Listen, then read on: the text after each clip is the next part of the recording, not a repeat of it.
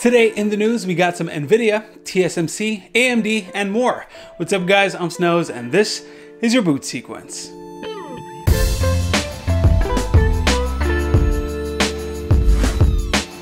Let's get started with Nvidia. After the cancellation of GTC in March because of COVID, the company has finally rescheduled it and it's pretty soon. In a press release posted yesterday, the company announced that GTC will happen on May 14th. It's going to be a live event on Nvidia's YouTube channel. Jensen Huang wants us to get amped for the latest platform breakthroughs in AI, deep learning, autonomous vehicles, robotics, and professional graphics.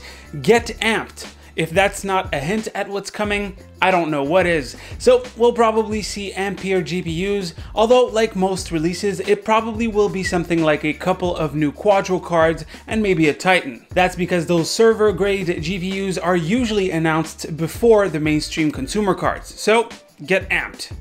Speaking of NVIDIA, according to a DigiTimes article, TSMC's 5nm node is getting some attention from NVIDIA, and apparently they're already working on some chips. Now, before you get your hopes up, this 5 nanometer node is definitely not what will end up on Ampere GPUs. For 5 nanometers, it could be a future lineup, but some rumors point at it being used for the next generation Tegra chips. If NVIDIA keeps the release schedule they had in the last few years, that means a card that uses 5 5 nanometers would release in 2022. Hopefully, AMD's advanced node for Navi 3X will also be on that same 5 nanometer node. On the subject of manufacturing process, TSMC is far from ready to call it quits. In fact, according to an investor meeting reported by Digitimes, the company has just started exploratory studies and R&D for development of a 2 nanometer node.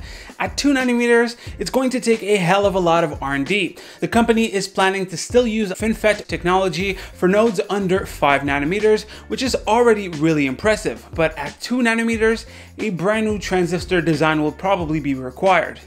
Moving on to some AMD news, we just got some details on their next gen APUs. According to the leaker extraordinaire RoGame, the successor to Renoir will be Cezanne. Another gen, another painter. The name isn't the only thing we got through RoGame though. This APU should be based on the Zen 3 architecture, which apparently has a significant CPU performance uplift over Renoir, and according to the leak, will sport second generation RDNA or RDNA 2. This is kind of surprising given we haven't even even seen first gen RDNA on an APU so far. According to previous RoGame leak, the 4000 series of AMD APUs will still be using Vega graphics, or at least this low power CPU leaked a few days back will. In Microsoft news, it looks like their update is busting up computers again. The latest Windows 10 update, which introduces several security fixes, has been deleting files and causing BSODs. While some of the users are experiencing random crashes, with the most common being these errors, some users are getting BSOD loops, meaning the PC insta crashes at startup. This is the April 14th update, so if you see it queued up, I would recommend you do everything you can to avoid it until until it's safe, or at least back up your OS as soon as possible. Moving on to some storage news, it looks like companies are starting to come clean. So, in the last week or so, it was found that some hard drive companies like Western Digital, Seagate, and Toshiba, so pretty much all of the hardware companies, were selling some of their drive models with inferior shingled magnetic recording tech, while larger capacity drives are sold with superior CMR tech.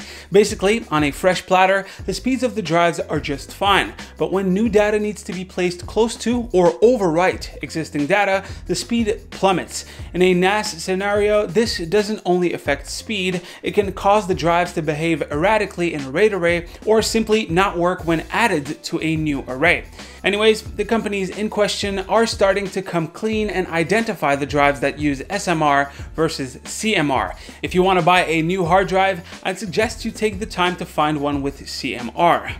Moving on, it's time for the weekly game check. Right now on the Epic Store, you can get For the King for free. It's a turn-based strategy game if you're into that sort of thing. But what's more interesting is the next week's free games. You'll be able to get Amnesia, The Dark Descent, a game that needs no description and that I plan on playing while wearing a diaper. And lastly, there's Crashlands, a battle slash quest game with crafting elements. Those two last games will be available starting on the 30th. Anyways, guys, that's pretty much it for the news today. Hopefully you've enjoyed. Drop a like if you liked it, a comment if you want to talk about today's stories. As usual, you can click right here to see the latest video right here. Subscribe to the channel. My rib just hurt me. Don't forget to stay frosty with dudes, and I'll see you on the next one. Take care.